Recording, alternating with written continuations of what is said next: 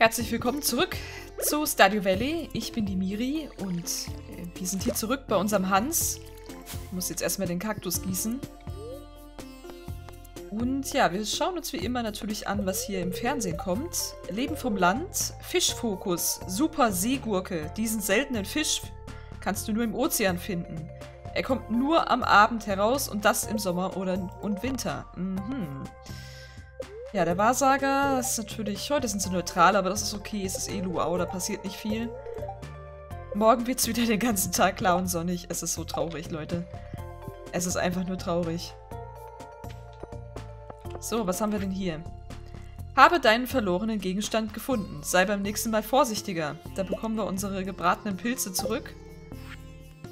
Hans, in letzter Zeit spricht jeder in der Stadt über deine enorme Großzügigkeit.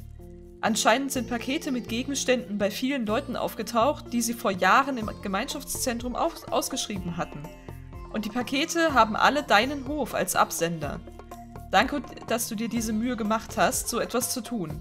Alle in der Stadt sind hoch erfreut. So, und jetzt schauen wir mal auf unsere Freunde Stings. Aha. Da seht ihr, da sind jetzt zwei Herzen mehr. Bei manchen. Demetrius hatte vorher weniger. Mm, ich glaube, es ist nur bei denen, die für die, für die Pakete hatten, oder? Oder ist es bei allen? Nee, es scheint tatsächlich bei allen zwei Herzen zu geben, außer bei den Singles. Da nicht. Aber bei allen zwei Herzen, das ist natürlich nicht schlecht, ne?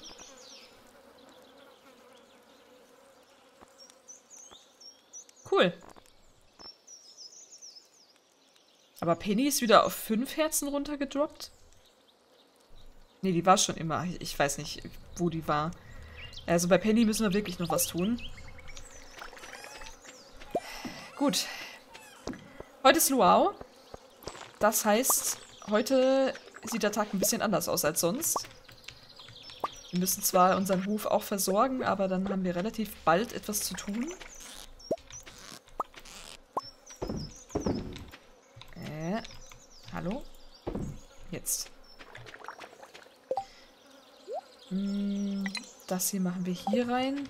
Den Helm packe ich mal hier dazu. Dann geht wieder diese Sortiererei hier los. Da haben wir etwas Quarz bekommen. Auch schön. Hier haben wir was. Äh, den Erdkristall habe ich, glaube ich, hier drin, ne? Ja. Gut. Oh, äh, unsere Fische wollen irgendwas. Was denn diesmal? Bringe zwei Glaswälse. Sie brauchen Proteine, also die werden immer gieriger, ne? Ähm, ja, das hätte ich gerne. Dann würde ich gerne an meinen Melkeimer ran. Oh, jetzt sind auch alle Kühe ähm, erwachsen, wie ich sehe. Okay. Habe ich jetzt? Nee, ich habe jetzt... Ah, ich weiß auch nicht so richtig. So, die Kühe habe ich. Dann weiter zu den Ziegen. Heute ist, glaube ich, auch Ziegentag. Ja. Was haben wir? Ziege Nummer 2. Sehr gut. Das Schwein und das Schaf hat heute auch Wolle für uns. Ähm, würdest du jetzt bitte mal das Schaf scheren? Danke. Dann ab in den Hühnerstall. Mal gucken, wie es hier aussieht. Und du glaubst gleich zwei Entenfedern heute. Feine Sache.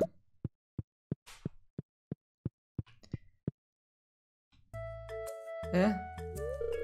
Guten Morgen. Ah, was ein schöner Tag, oder? Als Kneipenbesitzer höre ich von allem, was in der Stadt vor sich geht. Ich erinnere mich, als du damals hierher gezogen bist. Jeder war sich ein wenig unsicher, was ihn erwartet. Ein Fremder aus der Stadt, eine unbekannte Persönlichkeit. Eine Sekunde. Ich muss kurz umrühren, aha. Sorry, ich muss diesen Topf alle fünf Minuten umrühren. Wie auch immer. Was habe ich gesagt? Ach ja, weißt du, es ist wie wenn man eine Soße macht. Wenn du ein neues Gewürz hinzufügst, kannst du alles ruinieren.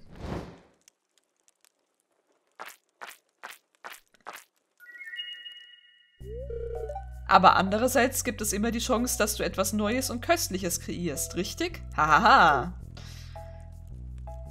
Wir sind etwas verwirrt. Ähm, was ich versuche zu sagen ist, es ist toll, dich in der Stadt zu haben und ich betrachte dich als einen meiner guten Freunde. Juhu! Wie auch immer, ich bin gekommen, um dir etwas zu geben. Ich habe das Hinterzimmer aufgeräumt und diese alte Mini-Jukebox gefunden. Ich will, dass du sie bekommst dass du sie bekommst. Das ist, als würde... Habe ich gerade gesehen, dass sie das sie groß geschrieben haben? Das ist ja, als würden sie die Jukebox irgendwie... Äh... Höflich zur Jukebox sein. Es ist, ein, es ist eigentlich ein altes Do-it-yourself-Projekt von früher. Sie sind ziemlich einfach zu machen. Also nur für den Fall, dass du mehr machen willst, habe ich die Blaupausen für dich mitgebracht. Danke. Herstellung von Mini-Jukebox gelernt? Nun, ich werde nach Hause gehen. Ich muss diese Marinara wieder auf den Herd bringen. Ich wünsche dir einen schönen Tag. Ja, danke. Ja, das ist jetzt passiert, weil wir den Hühnerstall verlassen haben. An einem Morgen.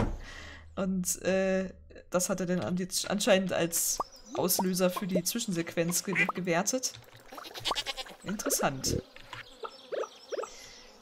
Was der liebe Gas uns hier alles erzählt. Das Luau hat begonnen, aber wir sind noch überhaupt nicht bereit dafür. Ich muss jetzt erstmal hier meinen Käse machen. Und meine Wolle. Hier. So, Käse, Käse, Käse. Ach, geh mir aus dem Weg, Kuh. Ich will, an, ich will an meine Truhe ran, Mann. Jetzt komme ich an meine blöde Truhe nicht ran, weil diese Tiere da im Weg stehen. Ist vielleicht doch nicht so der beste Ort für die Truhe, ne? Ständig ist was im Weg. So ein bisschen Zeit haben wir ja noch. Hm, die Marmelade ist auch fertig, wie ich sehe.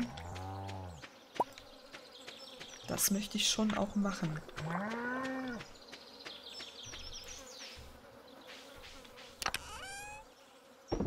So, jetzt erstmal eins nach dem anderen. Ich werde jetzt erstmal meinen Garten gießen. Die wichtigen Dinge wie immer zuerst. Gießen geht mit der Gießkanne. Nicht mit der Sense, lieber Hans. Solltest du wissen. Nach über einem Jahr auf diesem Hof. Reif ist ja nichts geworden, erfreulicherweise. Apropos, war ich eigentlich... Oh, ich war, glaube ich, gestern, vorgestern, ich weiß nicht, irgendwie war ich schon länger bei meinen Obstbäumen nicht mehr. Schlecht. Sehr schlecht. Da habe ich ein bisschen Ernte verloren. Naja, naja. Okay.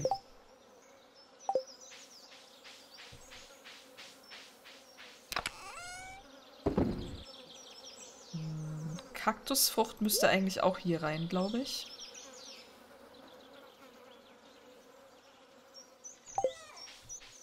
Der Reisspross, den packen wir natürlich hier dazu. Ja, was mache ich jetzt hier in meine, meine Fässer, in meine Einmachgläser rein? Einmachfässer sind es eigentlich, ne?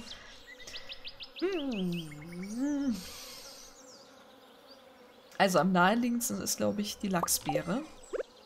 Weil wir davon einfach am meisten haben.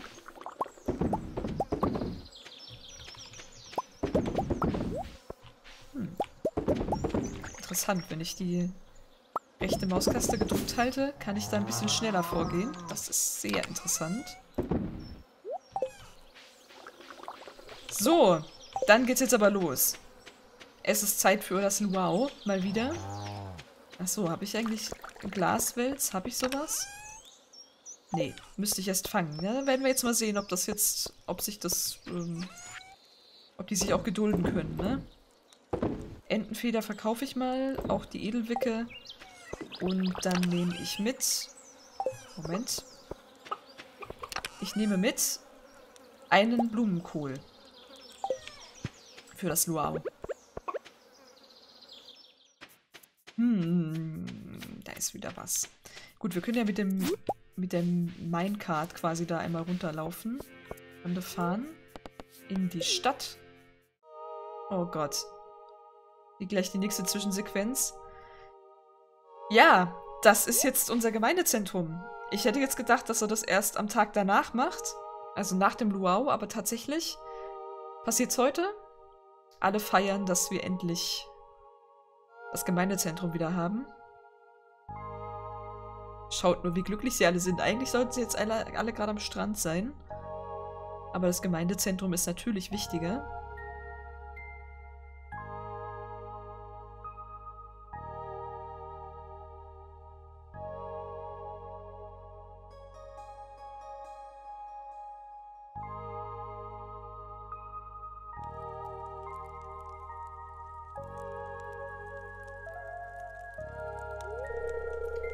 Ich bin mir nicht sicher, wie du es getan hast, Hans, aber das Gemeinschaftszentrum hat noch nie besser ausgesehen. Du hast Pelikan einen großen Dienst erwiesen. Jeder in der Stadt ist froh darüber. Als Zeichen der Dankbarkeit würde ich dir ger dich gerne mit der größten Ehre dieser Stadt auszeichnen, dem Sternentau Heldenpreis. Du hast ihn dir verdient.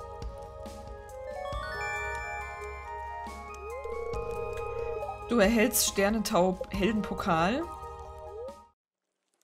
Stimme Grummel Grummel. Wer ist da? Meine Verkäufe sind stark zurückgegangen. Wo sind all meine Kunden hin? Ah, Morris.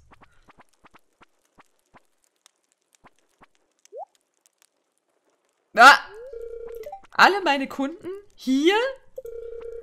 Das ist nicht gut. Wie fühlt sich das an?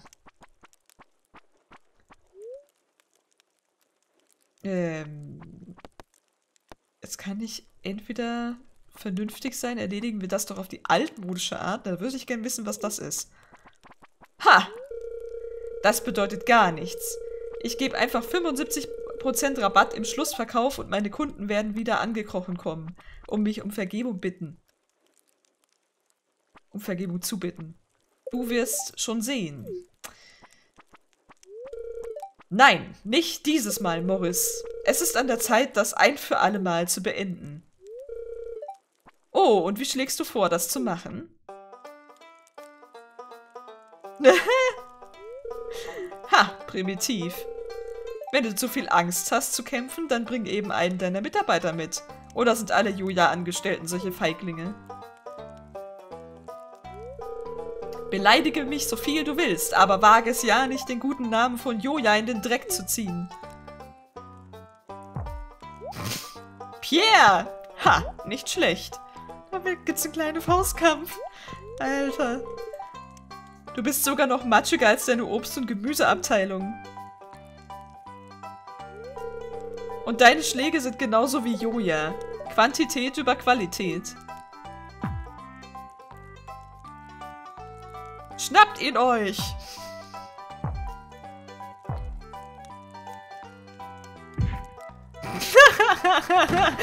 Gott, ist das witzig. Ey, der hat das Dach kaputt gemacht.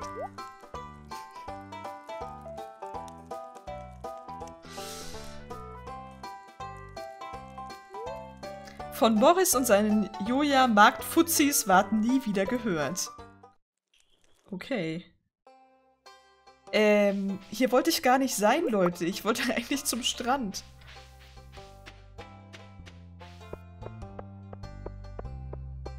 Da nimmt man sein Minecart, um unten dahin zu gehen und stattdessen...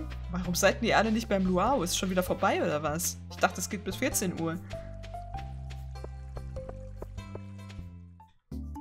Ja, ein Glück. So, da sind wir. Ja, schauen wir in den Shop rein. Gut, das ist hauptsächlich Deko. Brauche ich nicht. Reden die immer noch dasselbe? Ja, die reden genau dasselbe wie im letzten Jahr. Also reden wir wieder nur mit Kent. Gut, dich hier zu sehen. Mehr hat er nicht zu sagen. Schade. Kann ich hier irgendwas essen? In der Bode trinken oder so? Nee. Gut, dann werden wir natürlich wieder unsere Sachen hier reinhauen. Nämlich diesmal gibt es Blumenkohl. Machen wir mit in die Suppe. Abigail. Mensch. Wie läuft's? Es ist anstrengend, mit anderen zu reden. Ich beobachte lieber das Meer. Ja, ich gehe ja schon. Diese Frau, eh. Haley mag mich, glaube ich, ein bisschen mehr. Ich würde tanzen, aber ich will nicht schwitzen. Hm, okay. Denn halt nicht. Emily tanzt. Sie scheint nicht zu antworten. Also irgendwie hat Hans mit seinen Freundinnen nicht so das Glück, ne? Ich glaube, die, die anderen wissen den vielleicht mehr zu schätzen. Was auch immer Leines gerade röstet, es riecht furchtbar gut. Schlürf. Okay, die denkt nur ans Essen. Lea? Wie geht es mit dem Hof voran? Muss ja eine anstrengende Jahreszeit für dich sein. Ja, in der Tat. Aber endlich mal jemanden, der sich um mein Wohlergehen hier, hier sorgt. Penny? Was machst denn du mit Sam hier? Wir halten dieses Fest für jedes Jahr, um dem Gouverneur einen Geschmack von allem zu geben, was dieses Tal zu bieten hat. Bürgermeister Lewis hofft, dass wir uns damit mit dem Gouverneur gutstellen können. Deshalb ist er auch so nervös darüber, wie die Suppe schmeckt. Hm. Gut, Penny ist eher neutral. Also die beste Antwort haben wir bisher von Lea bekommen. Die anderen waren irgendwie alle... Hm. Naja. Hallo, Gouverneur. Was für ein entzückender Anlass. Es ist immer eine Freude, das Sternentautal zu besuchen. Ich muss mit meiner Gattin reden, ob wir hier ein Ferienhaus erwerben sollten. Es gibt, glaube ich, nicht so viele leerstehende Häuser hier. Mach dich zurecht, der Gouverneur ist für seinen alljährlichen Ge Besuch hier. Wenn du etwas für die Überraschungssuppe hast, dann wirf es auf jeden Fall in den Kessel. Habe ich getan. Sollen wir mit dem Luau beginnen? Der Gouverneur sieht ein wenig hungrig aus. Ja.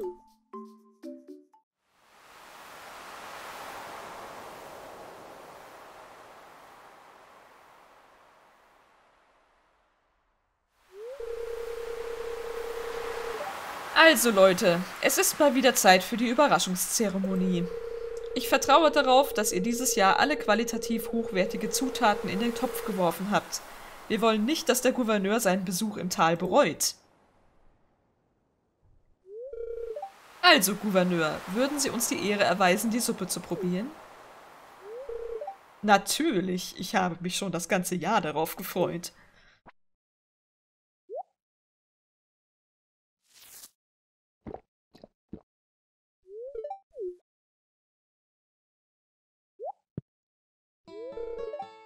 Ach du meine Güte, das ist die beste Suppe, die ich je probiert habe. Ja, Leute, das liegt nur an meinem Blumenkohl. Wer mag sie nicht, die Blumenkohlsuppe? Sie haben recht, sie schmeckt richtig lecker. Wundervolle Arbeit alle miteinander. Wer will mal probieren?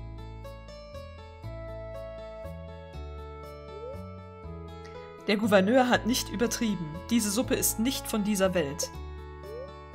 Zeit nach Hause zu gehen. Tja, und schon ist wieder Abend. Ja, ähm... Ein Vorteil, den das Luau auch hat, wenn man was Gutes reingemacht hat, dass alle etwas Meinung gewinnen. Das heißt, ähm, Demetrius und Caroline haben dadurch jetzt auch zehn Herzchen. Hm, Haley hat auch etwas mehr bekommen, wenn ich mich nicht ganz irre. Die war doch bei 8, oder? Jetzt ist sie bei 9. Ja. Also man sieht, ähm, das hat jetzt hier bei verschiedenen was gebracht. Mit Lea könnten wir jetzt tatsächlich auch was anfangen. Die ist auch schon bei 8 Herzen. Maru auch. Und Penny ist jetzt bei 6. Also es hat bei jedem, glaube ich, ein Herzchen mehr gemacht. Was ja nicht verkehrt ist, ne? Oh. Danke. Nein, jetzt habe ich das weghauen. Das wollte ich doch gar nicht. Ah, naja. Jetzt ist es halt so. Ähm ich würde gerne noch eine Runde Mayonnaise machen.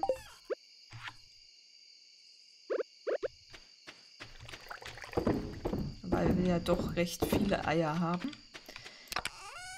Und äh, diese Milch werde ich in den Kühlschrank packen. Ja. Der Rest kann verkauft werden.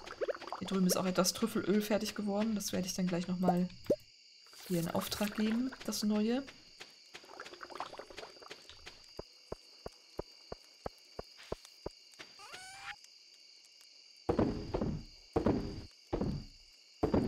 So.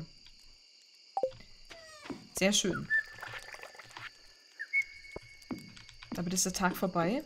Oh, wir haben jetzt natürlich auch diesen Pokal, ne? Den muss ich irgendwie mal noch irgendwo platzieren irgendwie ausstellen. Vielleicht im Schlafzimmer so. Packe ich mal hier in die Ecke. So. Schaut alle her. Die Milch kommt in den Kühlschrank. Haben wir hier eigentlich noch Milch drin? Ich bin mir gar nicht sicher. Doch, ein bisschen was hatten wir noch. Ich hatte ja gesagt, dass ich hier ein bisschen ähm, Zutaten hinzumache. Also ihr seht, da ist jetzt auch einiges noch drin. Ein paar Sachen muss ich noch hinzufügen. Aber so insgesamt sieht schon ganz gut aus. So. Ich glaube, wenn wir jetzt hier überall so viele weitere Herzchen haben, dann werden jetzt wahrscheinlich, wir werden jetzt wahrscheinlich wieder mit Zwischensequenzen überhäuft werden. Das werdet ihr schon noch sehen. Gut, wir gehen schlafen. Oh ja. Uferweit hat sich wieder richtig gelohnt. Das Trüffelöl, die Mayonnaise. Das war auch wirklich, es ist jetzt halt auch mehr Mayonnaise geworden. Das kommt natürlich auch dazu. Ja, und die Entenfedern sind eigentlich auch nicht verkehrt zum Verkaufen. Also so wenig ist es nicht, was man dafür bekommt. Nicht verkehrt. Bald haben wir die 100.000. Dann können wir unser Haus fertig upgraden. Ja. Und wir sehen uns in der nächsten Folge. Bis dann macht's gut, eure Miri.